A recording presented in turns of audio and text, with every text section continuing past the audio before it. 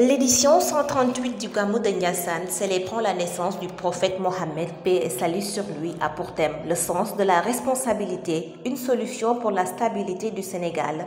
Une responsabilité dont doit faire montre toutes les composantes de la société, notamment le chef religieux vis-à-vis de ses adeptes, ainsi que le chef de l'État, le chef de famille, etc.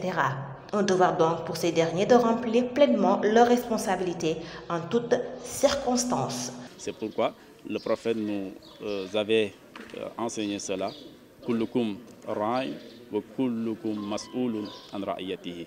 Chacun d'entre nous est un responsable à travers ses actes. Donc, et le jour dernier, Allah va nous ressusciter et nous demander les responsabilités, tant partagées entre nous, comment nous les avons vécues. Si, si tout le monde respecte sa responsabilité, connaît le sens de sa responsabilité, on ne notera jamais de bavure policière, ni de dérapage, ni de dictature, etc., etc. Pour une stabilité sociale, la famille Kunta d'Ndiassan prône le retour aux enseignements et valeurs laissés par nos aînés. il, faut, il faut tout d'abord retourner aux valeurs qui érigent notre pays. Parce que si vous voyez ce qui se passe à travers les réseaux sociaux, il y a énormément de dérapage, il y a énormément de dérives.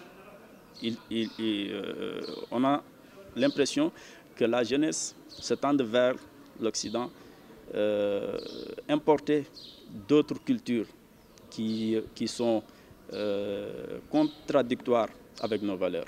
Donc, euh, il faut revenir aux valeurs ancestrales qui, ont érigé notre, notre, notre pays, le Sénégal. Afin de célébrer la nuit marquant l'anniversaire de la naissance du prophète Mohammed paix sur lui, un symposium a réuni des savants du Sénégal et d'ailleurs.